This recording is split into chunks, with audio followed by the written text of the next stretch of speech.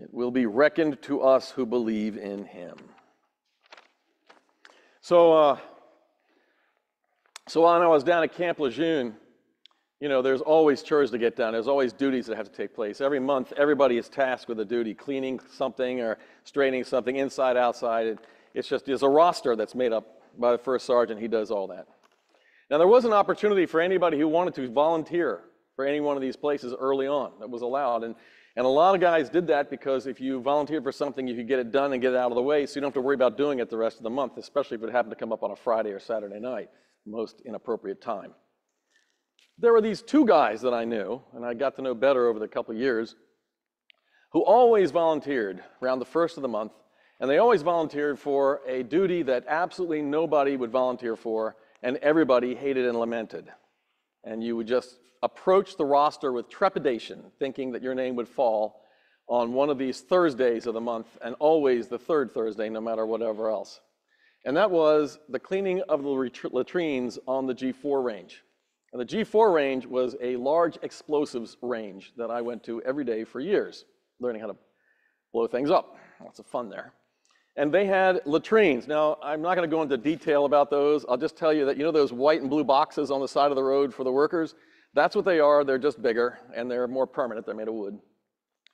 And, uh, and to clean them took an entire day. I'm not going to tell you how, but I'll just say that by the time you were done after the entire day, uh, you didn't want to get anywhere near these guys. I mean, they were like back where Frank is right now, and you knew they were coming. So on those days, those guys, if you're really lucky, got a different ride home. Every, we all rode in the back of a dump truck to go home, which if they got in there, at least we had fresh air, but otherwise they would get them in another vehicle. But they always volunteered, and it always seemed to be okay with them. And I never really understood. I didn't know them well at that time, but I did not understand it. Well, one, one uh, month we went out there, it was probably four, four months, maybe five months into the time that we were there. And, uh, and we, it was a Wednesday, and the gunnery sergeant said that the latrine would be cleaned today. And the guys who were volunteer, had volunteered to do it on, the, on Thursday, because it's always done on Thursday, on the third Thursday, which was that next day, would do it today.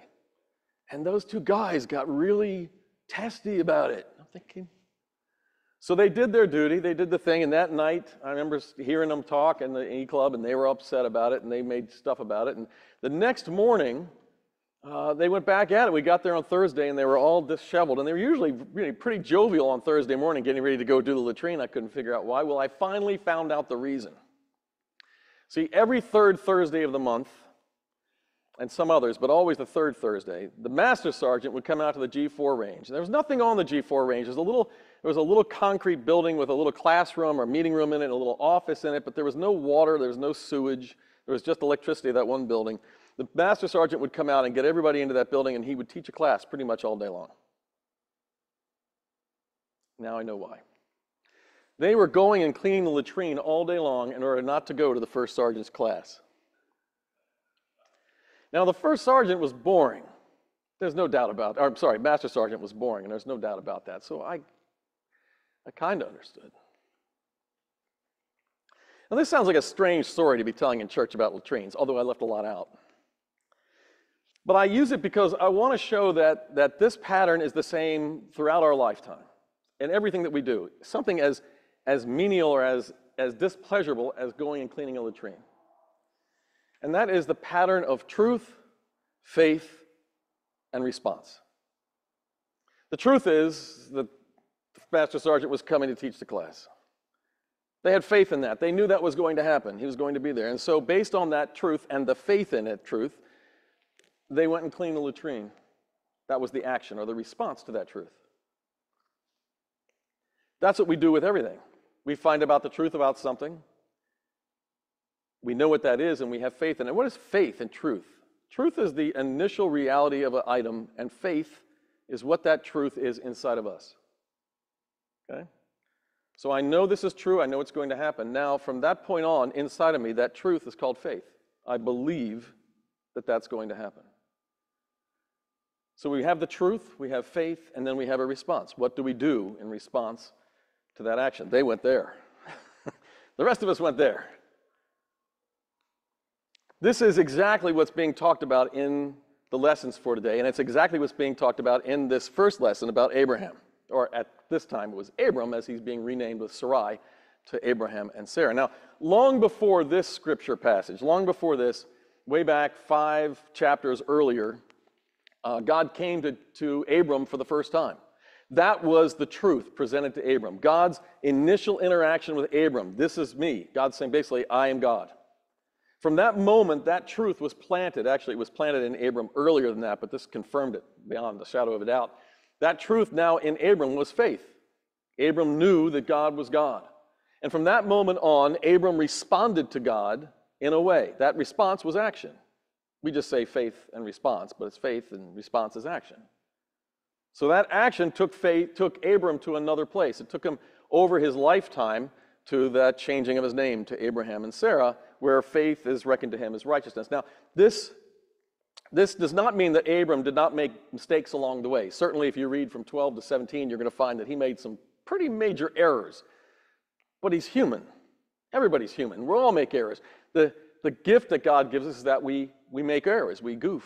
And even though we goof, God takes us back. And we have an ability to get back because we have faith, because we know the truth.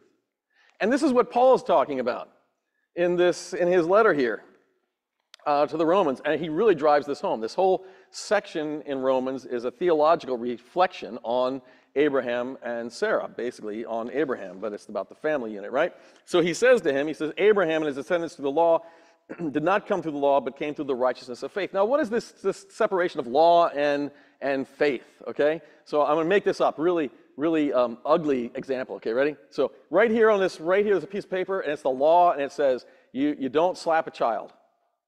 That's what it says. It's the law. It's the law. So I got a little kid, he bothers me, and I'm like, oh, my, mm, just want to give it to the kid, but I can't because the law says I can't do it. So what Paul says is two things is happening. One, the law convicts me. The law, I'm looking at that and it convicts me that I want to hit the kid. The, the second thing is, is that it actually affirms me because I want to hit the kid in the first place. It's the only thing that's stopping me is the law. And of course, we all know what happens. We find a way to override the law. Come later on with faith, we're taught that no, it can say this in the law. That's fine. It's over here, nice little piece of paper. Got it. But when I have faith and when it's God, when the truth of God re- is alive in me, then I don't hit the child because the faith in me, the truth of God tells me that it, I shouldn't do that, and I don't want to. I don't want to hit the child because of the faith, because of God's truth. So the law convicts me of my desire or my action, even my intention, if I still wanted to do it somewhere in the back of my mind. But faith liberates me and sets me free from that. Once I rely upon faith for the direction of my life. I no longer even want to do this. The law doesn't make any difference anymore. I don't need the law. It's still there, but I don't need it because what I want, what I desire, who I am, what I know in my faith and the truth of my life supersedes the law. It's what the law was meant to point to. Now, faith and truth point back to the law. The law is more of a memory. The faith is what's active. The action is what is purposeful. So Paul says this. He says this, and then he moves on. He says, Hoping against hope, Abraham believed that he would become the father of all nations according to what he said, so numerous shall your descendants be. What is hope against hope? Remember hearing that when I was a kid a lot, and then later on. Hope against hope is a phrase that means that the hope in, in the world here means it's not going to happen. I can hope for it, but it's just so incalculably uh, odds against it, it's just not going to happen. But I still hope. I hope against the hope that is fatal in the world. I hope a hope that is beyond the hope that the world would tell me. You should not hope for that. You're getting your hope, you know the phrase? You're just getting your hopes up. That's not going to happen. How do I know that? Because look at the world. Look at the thing that's going on over here. Is not going to happen. Hoping against that hope is faith. Hoping against that hope is what Abraham was doing. Abraham looked at himself 99 and his wife was barren. He says he's going to have kids and he's saying, That's the truth of the world. That's the truth of the way things work. But I'm hoping against that hope in faith, responding to the truth of God. That this is going to happen. This is who I'm going to be. Or this is who that I am already because God has told me. And it says, This hope, therefore, was reckoned to him as righteousness. So, what is that? Well, we've already said it.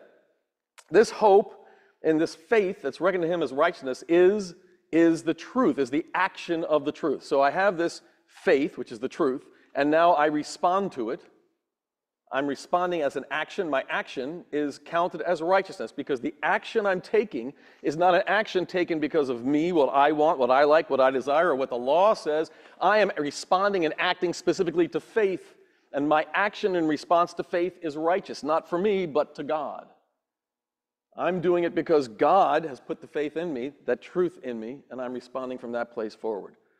So when I respond, according to the faith, which is the truth, in righteousness, which is according to that, it's counted back to me as, as, uh, as, a, as correct action in response to God because God is the faith or the truth that I am acting on in the first place. See, that's kind of a loop.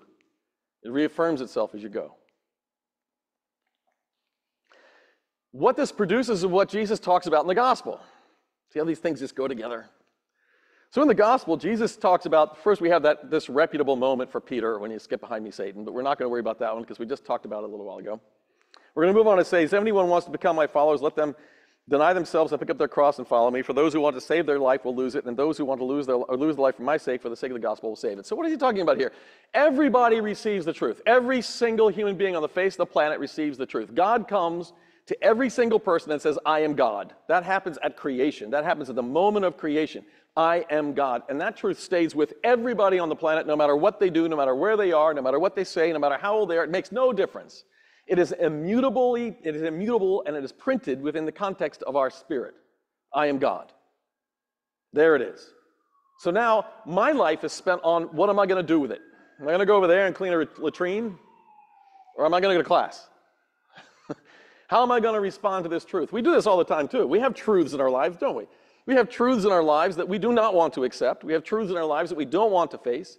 And we spend maybe a little or maybe a lifetime covering them over, filling that space up, buying, building a mountain, a multitude of stuff to cover that one little kernel of truth. Hoping against hope that if we cover it up enough, we'll completely and utterly forget about it and it won't make any difference to us ever again. And we're shocked after a month or a year or 10 or 20 when the thing that we thought was so well buried by the efforts of our lifetime comes back like there's nothing on it at all, rears up and catches us unawares, and how we want to beat it down and get rid of it again because the pain and the discomfort that it causes us. It's horrible, but it's the truth. And the truth will stay with us no matter what we do. It doesn't matter what we cover it up with, it'll always be there. we have to do something. We either have to run away from it, which is covering it up, or we go confront it, which is the righteousness. So Jesus is saying if you want to lose your life, you keep covering that up. Because if you keep covering it up, you're going to have to keep covering it up. Your whole life is going to be spent covering it up, running from it, moving stuff around, getting around it, avoiding it. You know, it becomes such an intrinsic part of who we are that we don't even know we do it. We start changing the manner of our life because we know that if we get anywhere near that, it's going to be present to us. So we're going to refix our spiritual life or the manner of life to move around it, to avoid it. Now, for the faith, for the truth of the gospel, for the reality of God, I am God, people do this all the time. They spend their whole lifetime trying to cover over the reality within them, this call of God saying, I am God. And they do it by filling their life with all sorts of other stuff, by their jobs, by their hobbies, by other faith traditions, by trying to find uh, truth in philosophy or in medicine or whatever it is they're trying to find truth in. But you know what the problem is? It always needles them. It's always there. It's always a bother. It's always a bug. It cannot be dispensed with. It cannot go anywhere because it's truth. So to leave it there, I lose myself because I spend my life focused on the thing that I'm trying to forget. And I change my life, always, I think, to the worst, in the manner I live in order to try to avoid it. I, I don't tell myself I'm doing that, but that's just the way it works. If I needed to get out the back door right there, and I needed to do it really fast because there's a fire in the narthex, and I couldn't go right there, I'm going to waste precious seconds running all the way around those pews just to get to the back. Oh, I'll get there. I may even say I got there in time, but there's no doubt that I wasted time by avoiding this spot. I just didn't realize it because I always avoid that spot. So Jesus says if we live our life that way, then we lose our life. We lose our life to the focus on this. But he says, if you don't do that, if you embrace me, if you come to me, if you look at the truth and you, t- you come to the truth, then you gain your life. Because what did Jesus say? What sets you free? The truth. Truth sets us free. So not only are we free from this thing that we're trying to hide, but we're free beyond this thing that we were hiding. Because the truth is made manifest in the person of God. That's forgiveness, that's enlightenment, that's joy, that's wonder, that's all the things that we want in our life that are held back by the thing that we've buried under all the clothes and dirt that we placed there. This is setting us free. Now we're able to do and go things. We don't have to worry about it anymore. I talked to somebody a little while ago, well, it's probably about six months now, who was living a lie for years, like 30 years. And he came to me because he said, I can't do it anymore. I can't. Like, I can't believe he did it for 30 years. And with him for about four months, I worked with him and a couple of other people, and he finally told everybody in his life. And I didn't see him for a long time, and he came back. You know what he said? I feel so good. I feel so light. I feel so clean. I feel like I'm living for the first time because I didn't realize my whole life long I was living to hide this lie. And it became a part of who I was, and now I'm free. And I said, I remember in portico right there saying, The truth has set you free. Jesus didn't just say this stuff. This stuff means things. This is real.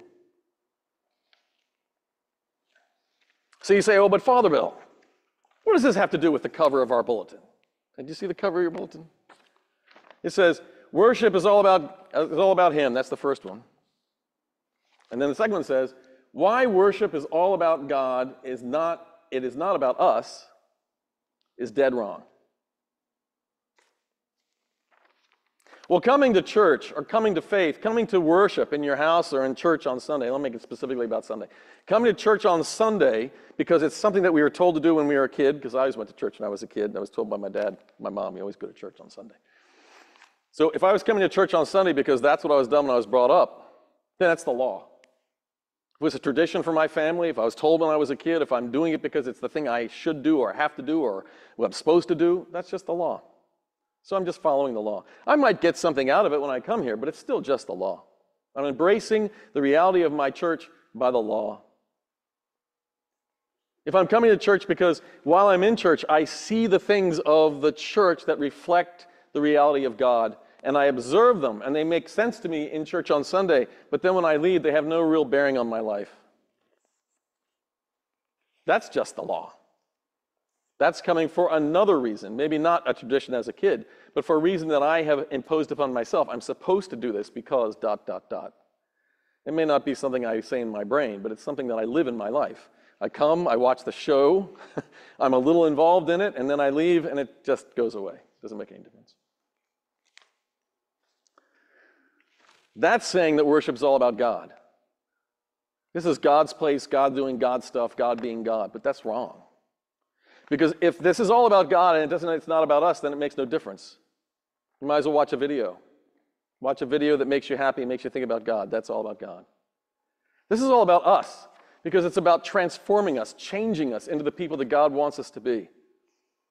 About coming here and facing the reality of God's presence in our life, the truth, and then in faith embracing the reality of our life, all those places we've buried, all those questions that we've had all that uncertainty that we've carried with us, and embracing them, not running away from them and do something that we do or don't want to do, some crazy thing, but rather running to it, running to it and making sense of it, running to it and asking the questions. You know, I hear all the time from people. In fact, there was a youth group I really remember in, in Kilmarnock. I was at the youth group, and this one of the parents came in. It was a big youth group, 45 or 50 kids, and the, and the parent came in was in the back. And when it was time for everyone to go out, they all ran out, and this parent came over to me, and I thought he was going to say, you know, I'll be back and later on to pick my child up, because that's what parents usually do, right? They drop their kids off and they go away.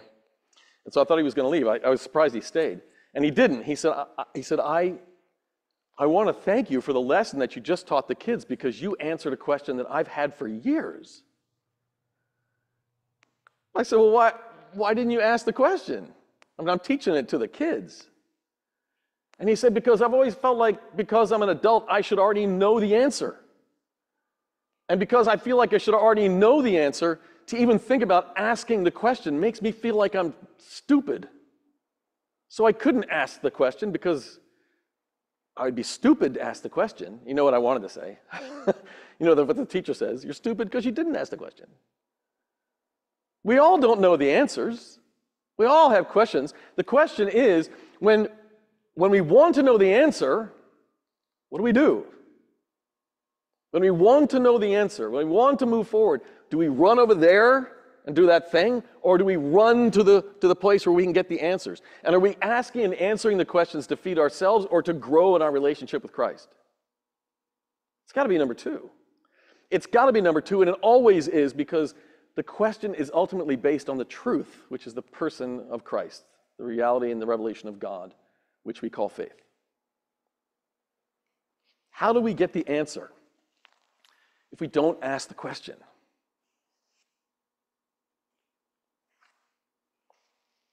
How do we learn if we're not open to being taught?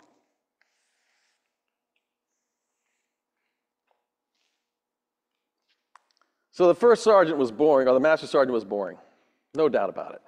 He droned. He was not dynamic in any way, shape, or form. And he said stuff oftentimes that was so completely redundant that there were guys that were in that, it was a big enough group that there were guys falling asleep. He didn't seem to say anything to them. I'm sure he saw them. There were guys that kind of dreamed out those little tiny portals, portholes over there. There's really small windows that looked up. You couldn't see down, you had to look up. And there were a few guys who listened. And I figured out after four or five months of going through maybe a series of changes, listening to the master sergeant, that amidst his less than auspicious presentation, he had these gems. He had these truths that he had rea- realized through a lifetime of learning, of doing. And they were gems that would make what we were about to do better and more understandable and more creative. And they were gems that helped inform us of what we'd already done to make sense of it. And if you really listened, you knew that when you got back to Garrison, you could go and ask him questions.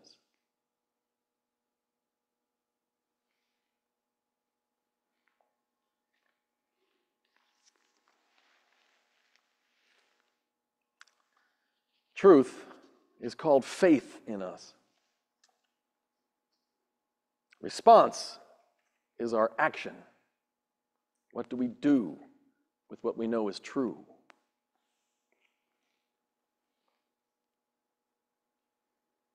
Therefore, our faith will be reckoned to us who believe in Jesus Christ our Lord. Amen.